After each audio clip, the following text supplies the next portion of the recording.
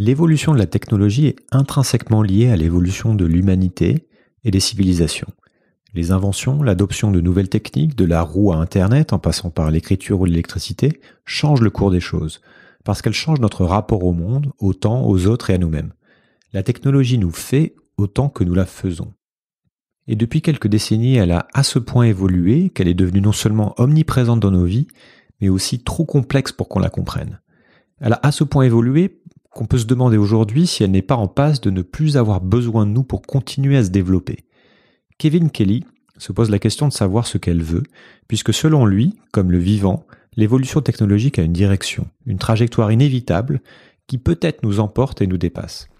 Kevin Kelly est un penseur fascinant, un acteur incontournable du monde de la tech depuis 40 ans, entre philosophie, hacking et prospective. Il a entre autres fondé le fameux magazine Wired.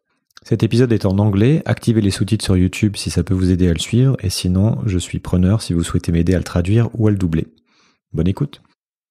This is the most urgent of times and the most urgent of messages. What is real? How do you define real? Our knowledge has made us cynical, our cleverness hard and unkind. We are in the beginning of a mass extinction. It's about everyone. It's about all of us. It's about potential. It's about possibility. The singularity is probably the right word because we just don't know what's going to happen. How dare you! Hello, Kevin Kelly. First question, very simple. Can you could you briefly introduce yourself and tell me what you're up to right now? My name is Kevin Kelly. I am the senior maverick at Wired Magazine, um, which means that I occasionally write for them, and but I have no other duties there as um, co-founder of the magazine. And now I occasionally write books about what mm, technology means to us, what its um, role is in our lives, and particularly the new technology that we're making. Um, so I package ideas about technology.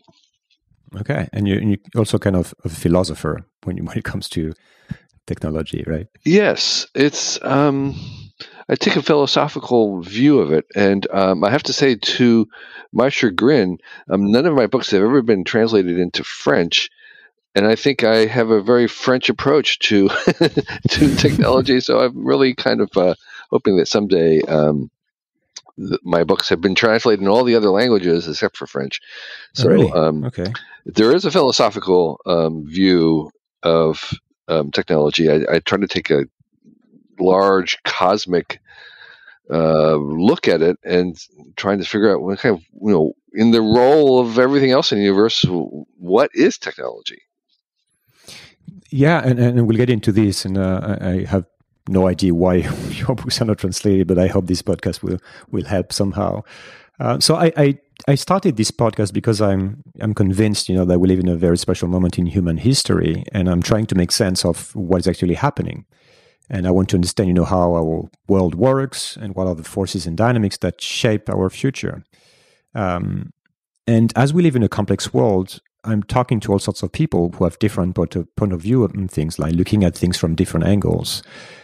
So, how do you look at the world? Like you, you said, and we said that you have a philosophical, philosophical approach to it, but let's get into this a little bit. What is your your angle or the, the lens that you use the most, or your approach overall to making sense of, of things in general? Yeah, I, I would say first of all, I have a very tech centric view, meaning that I think that technology is the most important force happening on the planet, and um, I also think that um, uh, most of the problems that we have um, today are created by yesterday's technology, and that most of the problems we'll have in the future will be created by today's technology. But unlike maybe some tech critics, I think the solution to the problems that tech makes is not less technology, but better technology. So, so I have a very tech centric view, and as part of that tech centric view, uh, I also think that technology is beyond humans. It's not really like a human endeavor. It's more of a cosmic force in the universe. That it's well, that it will probably appear on many planets in the galaxy, um, and that its origins are at the Big Bang. That it's sort of an extension of the same forces that produce life and living things um, are working in the technium, in the system of technology, and in a certain sense, you could say, well, it's, it's kind of accelerates the same self-organizing forces that made life are now being accelerated in technology, and so the, in that way, the two, life and technology, are derived from the same thing. They're they're they're they're they're brother and sister. They're not really enemies, and it's not adversarial between technology and nature. They're really from the same stem. So so I have this kind of view that um, technology is inherently compatible with nature rather than against it. Yeah, and, and we get into this because it's a very original way of uh, of things of seeing, you know, how technology works as, as, a as a system as a whole that is independent from from other things, from other systems, even from from humans somehow. Um, and um, before going into this, there's another question that I ask my my guests all the time because my podcast is also related to trying to find out what's going on. And I would like to understand how you, what do you think of what we're going through right now? What, according to you, defines the most our very uh, specific era, you know, that time mm-hmm. in the human history and the kind of dynamics and forces mm-hmm. that are shaping present and future? Mm-hmm. Yeah, so I I would say in the, the, the largest lens possible, of, you know, the historical view, like if we were historians talking about this in 500 years about this time, I would say that we would see this as sort of the last days of one mm, era and the very first days of, of the new era. And, and the new era is uh, that our society, our civilization is becoming truly global.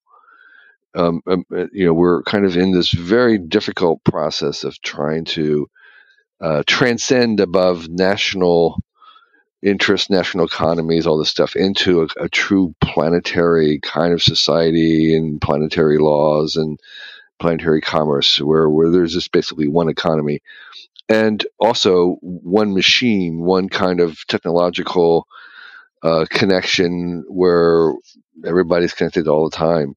And so um, that kind of planetary movement um, is what we're beginning to do. And one of the things that we'll be working on in the next hundred years is making more and better tools for collaborating uh, with each other at scale, with with where we can you know have a million people collaborating in real time, making something together, which has never been possible before, and those people will be all over the globe as they work. And we don't really have kind of tools like that that allow us, but we are beginning to make those tools, and we will. So so so that's the first one is this kind of movement towards a global planetary superorganism and as part of that, uh, the other second big thing happening is we're at the very beginning of this um, synthetic artificial intelligence um, you know bloom. It's it's uh, we'll have thousands of different species of ais doing different things and uh, among the many different ais will be you know the kind of emergent planetary collective of all humans connected together and all AIs collected together, um, producing things. So that will be another one of the many varieties of AI, including standalone dumb, you know, relatively uh, stupider AIs. Um, but we'll included among that spectrum of all the possible ways we'll have artificial and synthetic intelligence is is going to be uh, a global version of some sort, or of maybe several sorts. And so um, that introduction of artificial intelligences and synthetic intelligences is at the same level, of, certainly, of industrialization, but probably even bigger than that.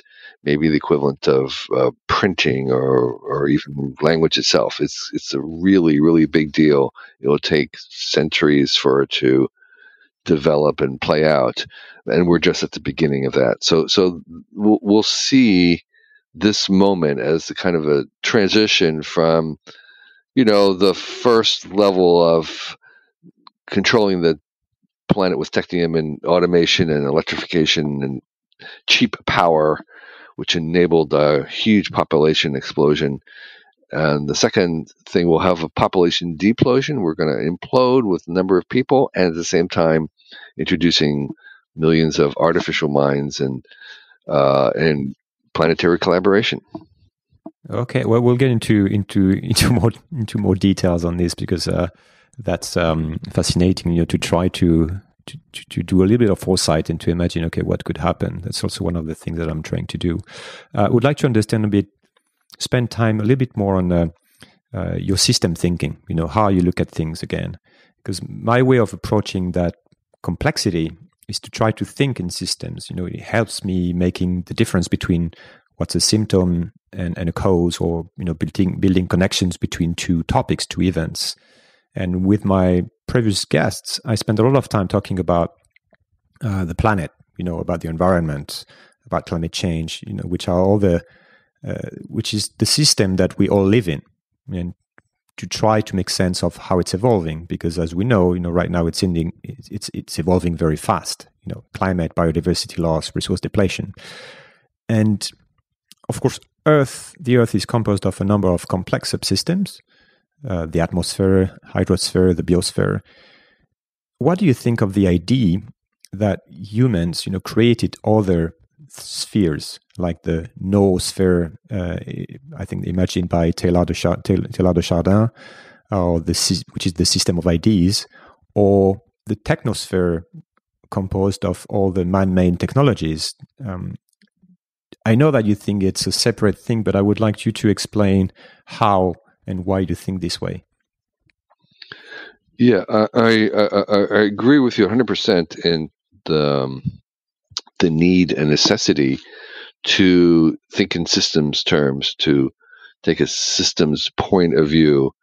Uh, in fact, one of the things I try to do with technology is to talk about what I call the technium. You could call it the technosphere. It's the same thing, um, which is the system of all the technologies in the world, and they're all codependent on each other. So you can't make a you can't make anything today without having hundreds of other technologies working to support it in terms of either computers or factories or tools, um, everything. So even to make a very simple thing like a pair of eyeglasses, say, requires hundreds of other technologies from optics, glass making, metal, and design to produce one very simple thing or seemingly simple thing. So all these uh, parts or all these technologies are codependent on each other and you and as a system and systems every system no matter it's natural or artificial have agendas. I have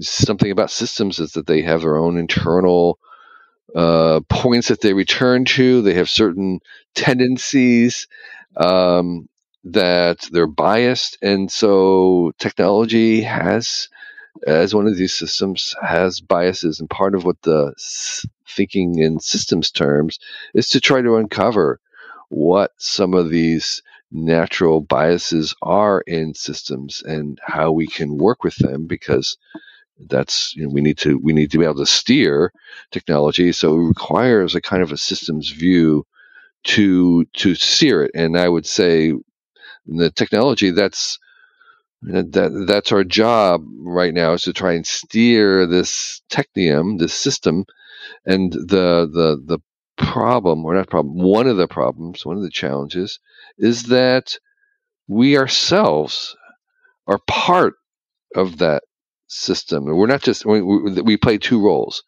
We play the role of trying to steer it, and we are we are also what is being steered in the sense that our own humanity our own selves are technologically part part part technology at this point that, that that we have been changing ourselves and engineering ourselves in many uh, respects and so we are both the the, the, the, the creator and the created. We're both the, the parent and the child. We're both the shaper and the shaped.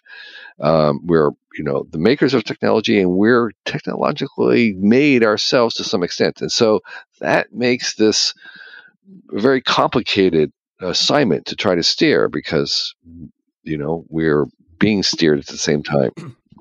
Yeah, it's not separated from us. Right. Um, I would like to go a little bit deeper into this because, and to spend some time on the on the comparison you make between biology and technology, since this is uh, at the core of the of your book, uh, what technology wants. Because we don't know if life, you know, evolution wants something as a whole. Some people say there's a direction, some people don't, but there are indeed some principles that drive evolution.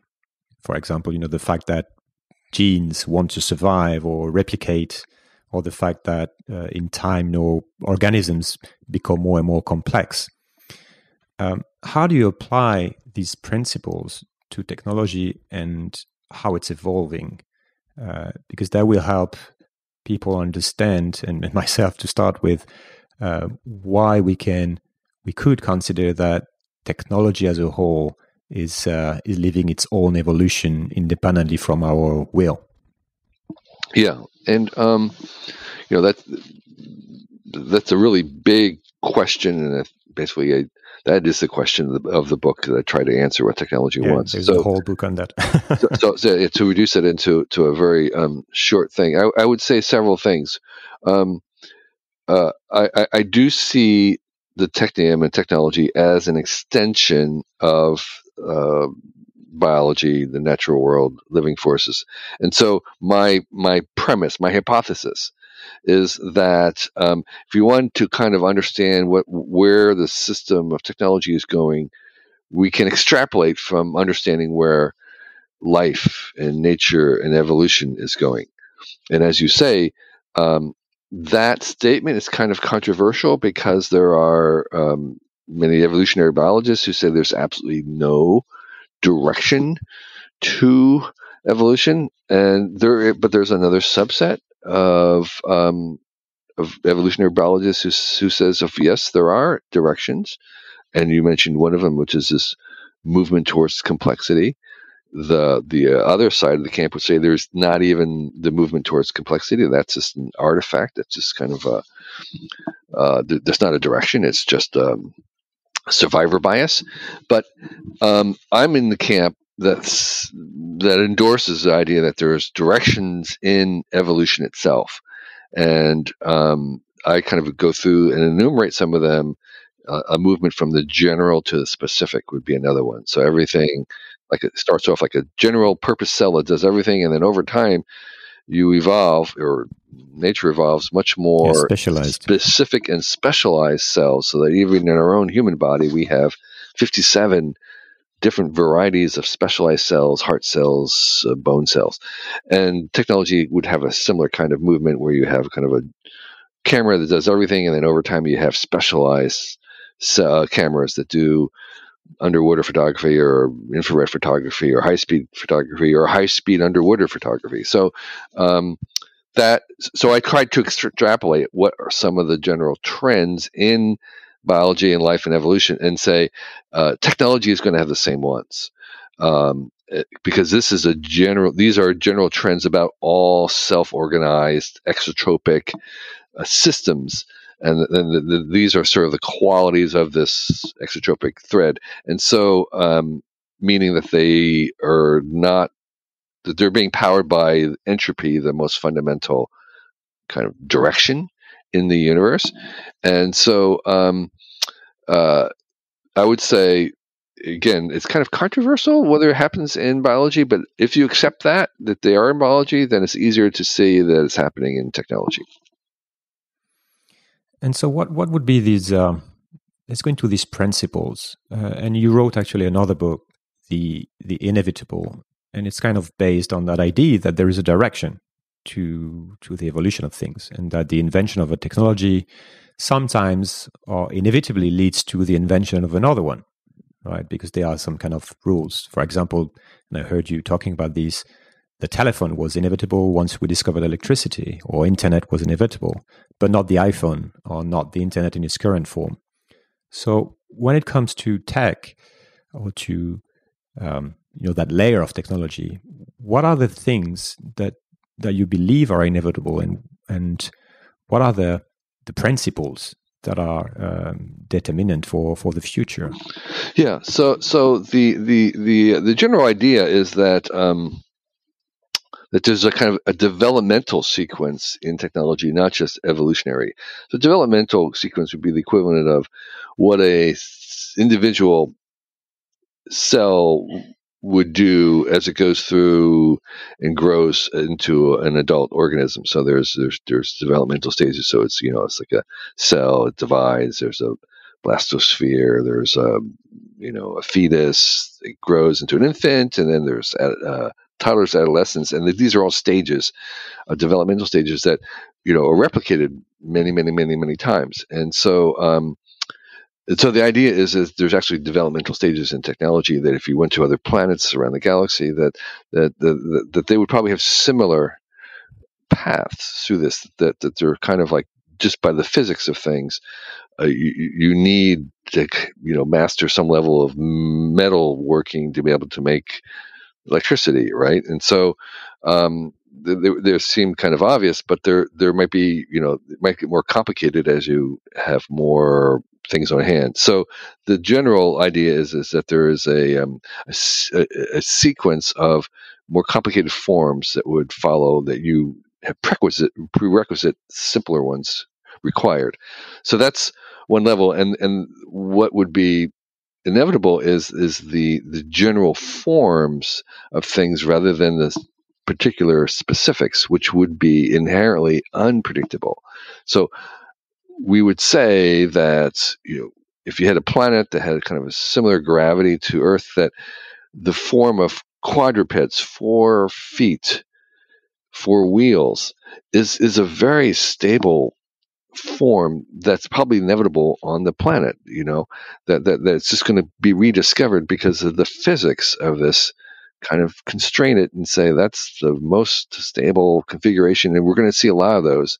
So while a quadruped form could be inevitable, a zebra or a particular kind of horse is not inevitable. That is completely random. You play the tape a thousand times, and each time will come something slightly different because the specifics are much more governed by these chance mutations and stuff, whereas the forms are kind of governed by the general physics and chemistry and these other constraints. And so we're saying the same thing's happening in technology that um, there are biases that given the form once you have you know copper and electricity you're going to try and make radio waves um, so you'll have radio, but the particulars of what spectrum you're using, and then the, the, the character of like who owns it, is it open source, does is it international or national, all these other character aspects of it are not uh, inevitable. That means that we have choices about it, and those choices actually make a big difference to how we use this technology. So let's get a little bit into into this. What do you see today when it comes to technology as as being totally inevitable? And um, and maybe we can take some specifics. Yeah, uh, we sure. can talk about AI, for example. Yeah, yeah. And uh, and what, on, on the contrary, is evitable or should be evitable, yeah. you know, and what to do about what's inevitable, kind of, which is the big question. Yeah, yeah, exactly. You're right. So, so I mean, I mean, you, you pointed it out. I mean, I would say that it's it's pretty inevitable that we will have um, sentience, artificial sentience, in part because evolution itself basically invented minds many times. It just kind of kept kept going back. It invented eyeballs 30, 30 different times in nature. And in the biological world, it kept making, it wants to make minds in this complicated way of learning very fast, of adapting very fast. And so um, we will be making minds, but the character of those minds, how we teach them, again, who owns them, how they're regulated, um, to what degree do we, um, how do we train them? All these questions are not inevitable. We there'll be differences. Uh, they'll make differences to us, um, and so um, the character of AI is something that we ha- are choosing right now and have a choice about. Um, how how they fit into our lives is a choice that we have and that we're making whether we know it or not. And I, you know, a bunch of people are forcing us to think about this before it arrives. And so I think we are, as a society, trying to shape AI um, trying to determine the character of it. Um, and so, um, you know, ourselves right now, the two of us are talking about it, and we're part of that process of trying to decide what the character of it. We cannot stop it. We can't regulate it off. We can't prohibit it. Um, we can only steer it and, and affect its character. Is it, is it the biggest uh, tech topic, AI, or do you see other technology related things that are inevitable that we should really have in mind? The, the biological, the, the genetic side of it is huge. And so um, I said earlier that, that, that, we are humans, slightly technological. I, I, believe that we actually have invented our humanity and we've um, changed ourselves genetically as we've gone along. And now we are kind of coming beginning to to accrue some tools that would allow us to modify and change us even more. So I think we're very malleable. I think humanity is a very malleable concept, and uh, I think this is early. This would be a later in the sense the next hundred years, but I think we will start to have to make decisions about what we want humans to be, and that will always be made in the um, the context of AIs as we make synthetic intelligences do more and more things. They will be creative. They, but they will have a different kind of uh, sense of humor, a different kind of sense of creativity. They will be alien, but they nonetheless they will do things that we thought only humans could do. So that forces us to re-examine ourselves, to redefine ourselves, to maybe even change what we hope to be. So this issue of what do we want humans to be? What do we not just what are we here for, but what do we want to become? That's a huge question that's unclear how we ask the question, how we answer it. So so that's that's so I think the biological part of it is a equal big thing. Um, going on in, in terms of um, how, how, we're going to change ourselves, how we become dependent on these these kinds of uh, technologies. Um, so yeah, uh, yeah. J- just to uh, let's be clear on this, uh, because this reminds us, you know, of all the transhumanism, you know, movement, where basically there's a mix between AI and uh, biotech, and you know, all these things, and BIC. Uh, when you say it's inevitable, some people would argue that um, there could be a decision to stop working on these um, so that it doesn't happen because the technology will not uh, update and upgrade itself. You know, it has to be. We are still at a stage where uh, it's, it's, still human minds that need to conceive it. Uh, so, when you said it's inevitable, that means that it's inevitable that because we can do it, we will do it somehow, somewhere, or is it a different way of approaching it? it's inevitable because as long as we are making new things, and I don't, I, I think the mm, first of all, it becomes easier easier to make new things, and secondly, um, I think the uh, the I would call it pressure, the the inclination, the appetite for making new things will continue.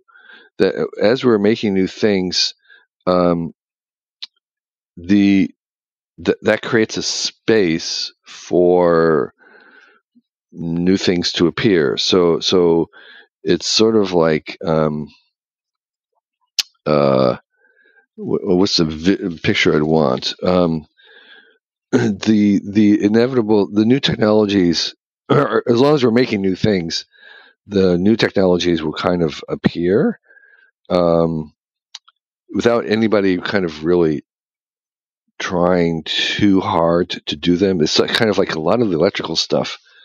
Yeah, discover happens kind of by accident. Well, just yeah, yeah, guys in the garage tinkering with things, and they discover something. They weren't necessarily trying to invent uh, these big things. They were often, you know, little curiosities initially, and I think uh, just given the our propensity, human propensity to cherish novelty, to become bored very easily. Um, I think that we're going to continue to make new things forever.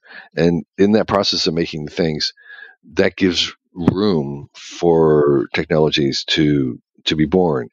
And once you have them being born, that then I think they follow this kind of inevitable process of um, uh, of becoming. So so I, I don't see any way of stopping um, innovation. It's like prohibiting innovation. You can say, well, we can prohibit. It. We're not going to prohibit innovation, but just innovation in biotechnology. We're going to uh, outlaw certain things, just as we've outlawed, you know, nuclear uh, testing, and um, uh, so so we're, we're prohibiting. And the problem with that is that when I did a study of prohibitions, technological prohibitions, it turned out that historically they were very short lived. They were always temporary. While they, you know, while they did maybe um, for a moment um, stop things, they were basically they were given up.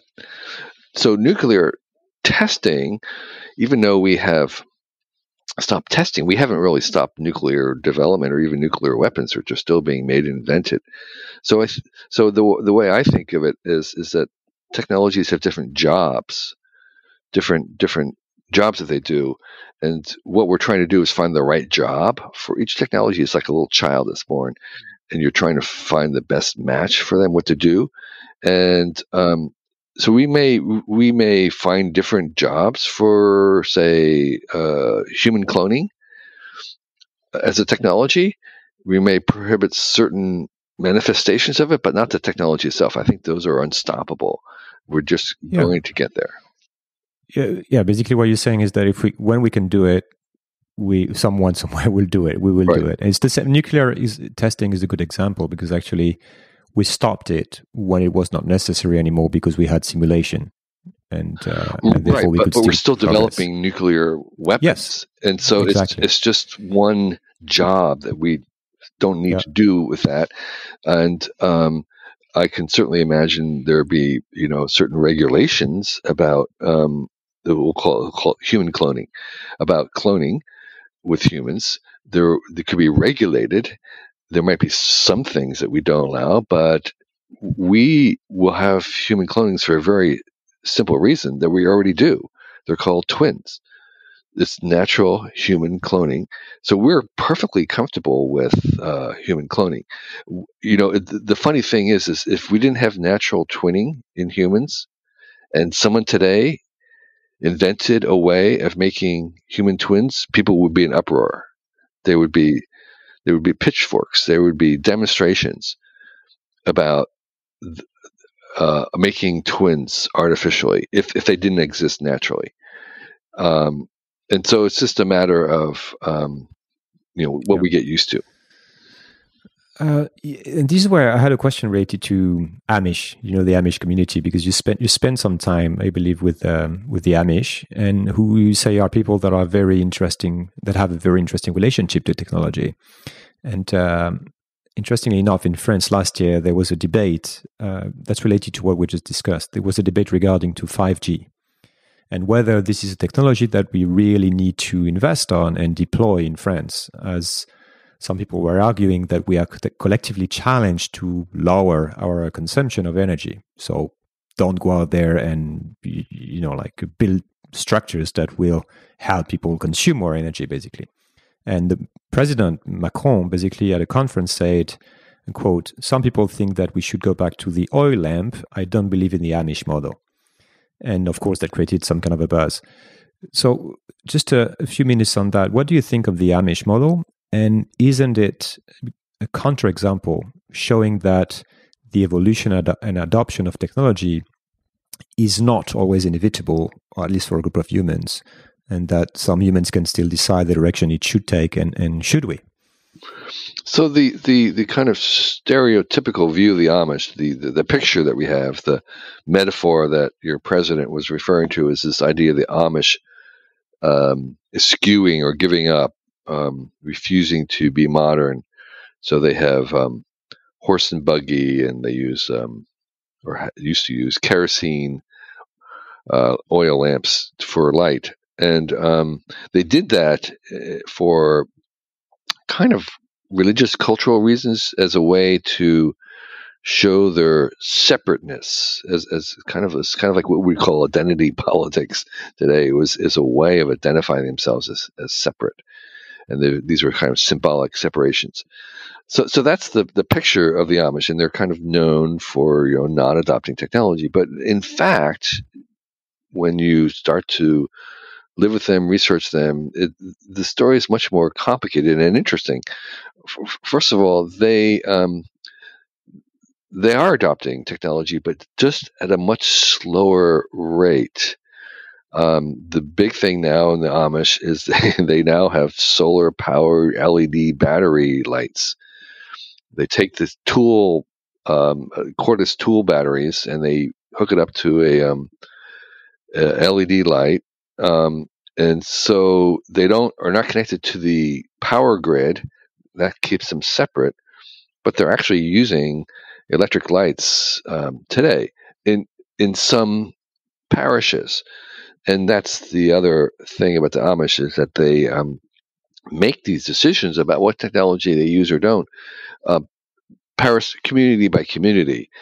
Um, the reason why I felt it was interesting to look at the Amish once I realized that they actually were using technology, but just at a slower rate, and being was was that they were aware of the criteria that they were choosing, and they were explicit that they were choosing things.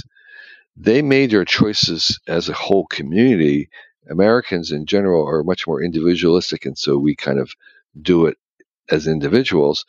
But I think we um, can learn something from the Amish in understanding um, what our own criterias are and having a set of criterias to say, well, what is it that we want technology to do? So the Amish criteria, what they were deciding was two two factors that they looked at for every new technology coming along, whether it's computers or smartphones or genetic engineering, and that was, will this technology um, help me stay at home with my family, work at home. So that they really have emphasis and their dream is that they would have every meal, breakfast, lunch, and dinner with their children until the children left. So that was the that was the dream. And so they, was does this technology would this allow us to work in the backyard or work at home or work on the farm and have every meal with our children?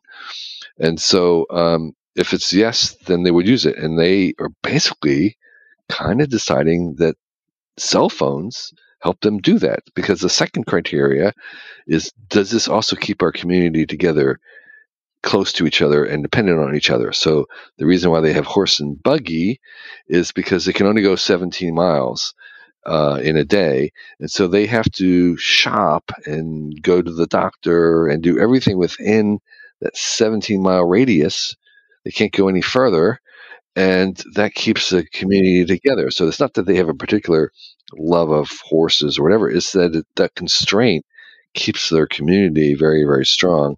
And they are finding that actually, weirdly, cell phones, not the smartphones, but kind of cell phones, allow them to do that because they have brothers and sisters all over, and they can kind of maintain their community with cell phones. And so they are slowly adopting cell phones.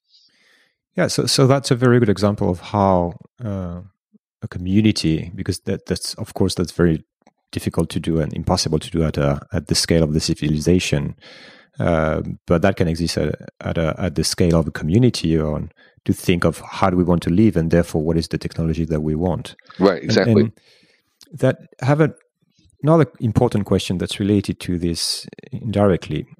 Um, and I really want to have your, your view on this. When it comes to predicting our probable future, you know, the most interesting people I've I've come across so far usually start with the concept of energy in mind. And indeed, that's because there's an obvious relationship between how energy, how much energy we can use, and how complex and, and big our systems can be. And our modern global civilization, its infrastructures, and its technology only exists at this scale because we have been burning fossil fuel basically for 150 years. And now that we passed peak oil and uh, there will be a challenge on energy, and also now that we should very quickly decrease our emissions and therefore consumption of, of, of energy to avoid, you know, catastrophic climate change, some people say that we won't be able to create more complexity and that therefore what is inevitable is a great simplification. And that includes technology, according to, to, to some of them, and you have a low tech movement, etc. What do you think of this view? And how much do you take in, in account into account energy and the constraint that could come with it in your models? So I, I, I think the, the, the general view of the what's the word I want the the boon the the the um the gift that we've gotten from cheap energy is un not fully appreciated. It's underestimated in terms of if you just look at the population curve of the last couple hundred years with this huge exponential, yeah, exponential growth of population. That's basically the exponential growth of oil. That's just that's just been powered by cheap oil. If we did not have on this planet a source of cheap fuel, oil fuel, we wouldn't have had that population explosion. It's in fact one of the kind of interesting thought experiments is that can you imagine a civilization occurring somewhere where they only had wood to burn? Uh, on another planet where they didn't have deep reserves of oil, could they have ever ever gotten to um, nuclear energy. I mean, can you get to nuclear energy if you don't have oil in between? So, um, it's it's an interesting thought experiment, but um, it's true that the current prosperity that we've had has been riding on the back of oil, and oh, it's not. I mean, there's plenty of oil, but we're having peak oil not because there's a shortage of it on the planet, but simply because we understand that we can't burn it.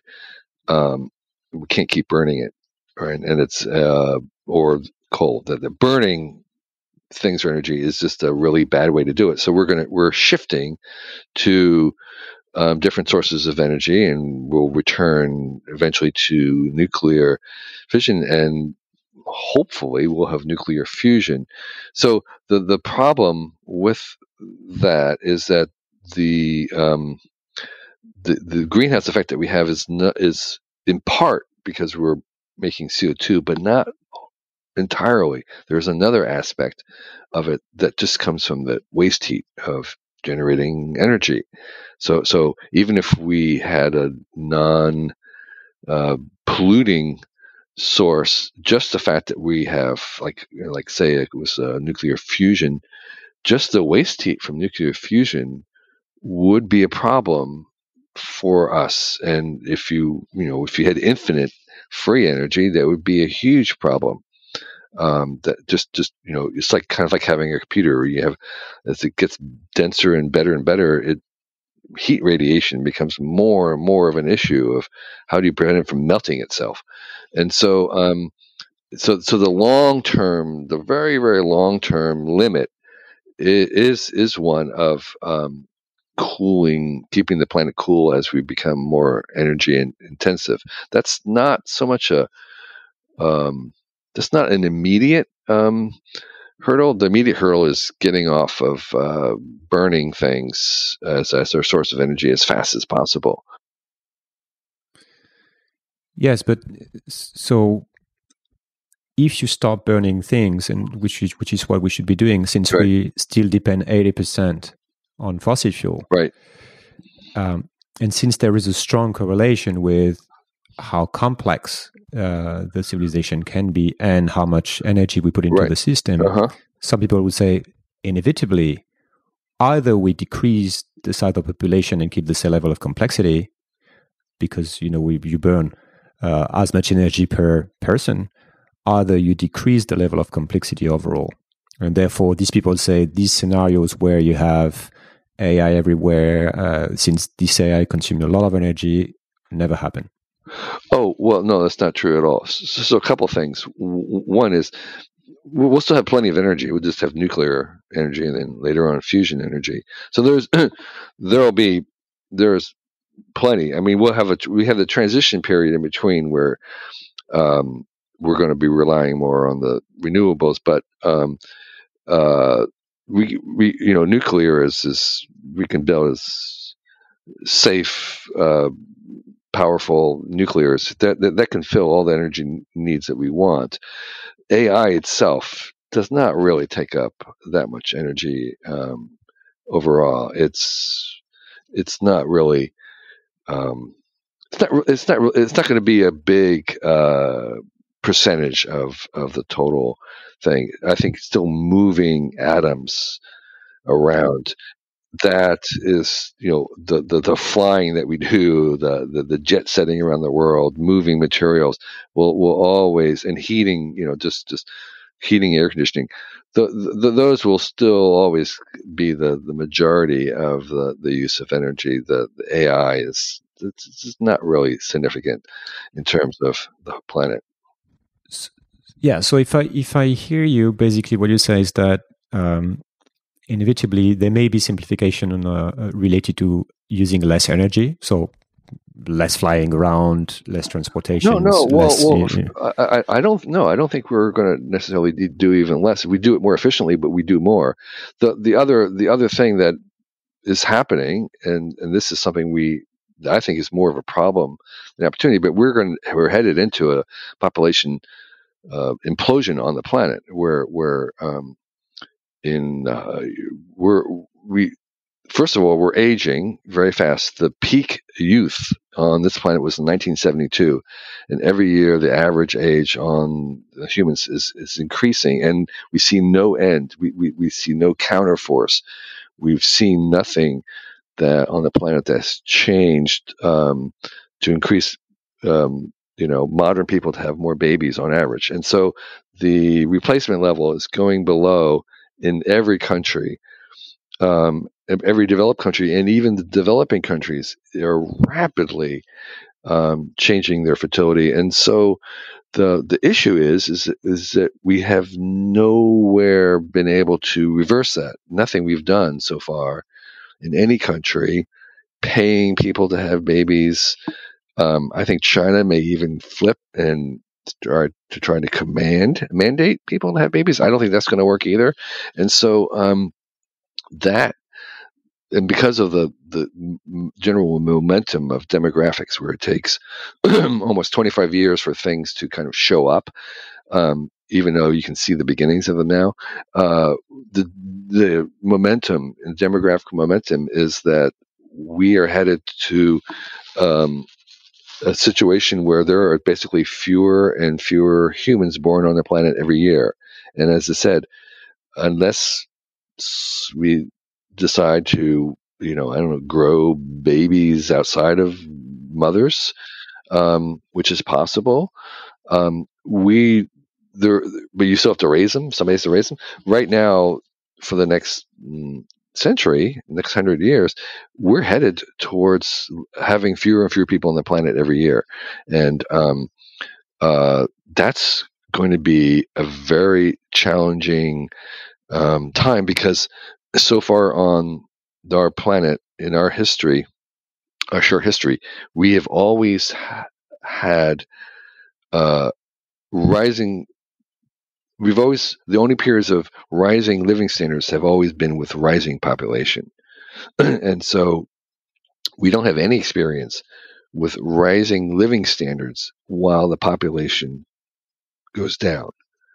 And so we need kind of like a new form of capitalism or economy where you are selling to fewer people your, your your customer base is shrinking every year the market's shrinking every year the number of people available to work are shrinking every year and yet you're growing in some capacity. That is something we don't know how to do yet. Uh, we're getting to the end? Uh, just a couple more questions. I, I know you actually think that sometimes questions are more important than answers. I don't know where i heard you say that. So what is the most important question that we should all work on right now, or something that we are not seeing coming? Mm, that's a great question. Um, what should we work on that we don't, most people don't see coming? Um, hmm. Yes, I think we should be working on world government. I think um, we are at the point where we have planetary problems and we need planetary solutions global scale problems with we need global scale solutions and we need a mechanism to accomplish that. And i think uh, you know these problems are beyond a nation state even a big one a big bully one like america we, we just have to have global ways of doing things global ways to enforce laws and fairness global ways of collaborating. And um, there is a, a deep suspicion of global government in the US and probably throughout the world. And, you know, my friends on the left don't want global government. My friends on the right don't. And I think we need it. I think this is uh, an absolute essential thing. But but in truth, I have no idea how you could have a representative government with seven billion people. It just doesn't. It's like I don't know how to do that. I, I can't see it. It seems hard. There's all these issues about how do you opt out, and so um, so I think we need great minds beginning to work on the problem of how do we have a fair, equitable, powerful, effective world government because some of the things that we're entering into climate change among them, but not the only one, like cybersecurity, like security and war. War is a stupid, stupid thing run by nation states who believe that they're each sovereign, which is silly and stupid and insane and a disease.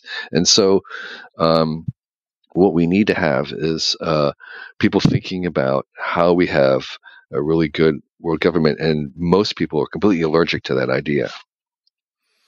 Yeah, it's a challenging. I don't see how this could this could happen. Don't see the beginning of it, but maybe yeah, it's it's a very good question. It doesn't mean that there is an answer, but uh, as you said, it's a it starts with a good question. La- last one, I have I don't know if you if you familiar with that, but basically I have two young daughters, and I always ask this to to the people I talk to. What should I tell them? What are the main skills or behaviors you know that we should teach young children or to adapt to the coming world? Yes. So, so I think you mentioned one already, which is um, you want to teach them. I think answers are free and cheap; they can find it with Google. uh, but you want to be able to ask really good questions. You want to, um, and, and, a lot of you know, any consultant will tell you that that, that half of the the problem in a very tricky mm, thing you have to do is is getting the, to the right question. What is the real question that we're trying to solve here? Because um, it's often not the question you think at first. So, um, learning how to ask questions and, and, having that kind of inquisitive mind of uh, questioning your own assumptions is huge. And then questioning authority, of course, is part of um, uh, I think you know uh, the modern the modern mind, um, not to assume that what we've done uh, is what we should keep doing. So um, so that kind of a questioning stance, I think, is one. The second thing I think uh, is kind of useful for uh, well, for, first of all, I, I, think that in terms of like parenting, um, under a certain age, like say you know up into elementary school, I don't think it really matters much about what you teach them in terms of knowledge. I think it's all about character. You know, forming their character is really the essential thing there, and the the knowledge and that stuff is just the vehicle for forming character. And so um, you want to be, you know, making sure that they're kind of they've got grit and perseverance, and have you can teach them optimism. There's something called learned optimism, where taking the optimistic stance is is very very important. Um, so so so all those things I think are kind of more important than than knowledge at, at the lower uh, ages, um, and then you know higher high school and beyond or whatever. I think. Um, I, I think there's something we should be um, teaching, which is um, uh, uh, something I call learning how to learn. Uh, or, or learning how you learn. So this meta level of learning is something that I still don't know, and I wish I knew. Which is, I think every person should be able to to um, figure out how they learn best. So, uh, so what are the kinds of steps that I need to do to learn a language? For me, I'm maybe more audio based than uh, textually based, or maybe I'm more kinetic learner than I am uh, in reading. And so, um, schools should be teaching us how to figure out how we learn best in the, in the, different kinds of things so that this idea of learning how I learn best, so that when I leave, I know what I need to do. I know how many hours of sleep I need after trying to memorize something. I, have measured that. I've tested that. I've, I've, I've been practicing that. So that's a known thing. It's kind of like a performance for an athlete, where you are really kind of tuning your body. You know what the rest and the rep cycles are. Well, we need to do that for learning, and I think that's the major skill that your daughters and everyone else knows is this ability to know how to optimize their own learning. That's a very good takeaway. Thank you for that. And, and last questions two books that everyone should read? Everybody, including outside the West, should at one time in their life read the Bible. It's this hugely influential book on our culture. And no matter what you think it says, it doesn't say that. uh, so read it yourself. It's an amazing, disturbing, awesome, astounding book and it's such a core part of Western culture and then even modern culture that you owe it to yourself to read it on your own for yourself. That's one. Um, another book that everybody should read. Um, a book that when I read it uh, maybe a couple of years ago, I said, I said this book is going to flip the culture, and it was Michael Pollan's um, "How to Change Your Mind," which despite the title, it's really about psychedelics. And he presented the case for psychedelics. And I said, this is going to work. This is actually going to flip the culture. And we're seeing exactly that happen right now where marijuana is being legalized, psychedelics are now being approved for research. Um, and so it's, and, and, I think psychedelics are a technology that have been um, weirdly uh, um, outlawed and um, are important.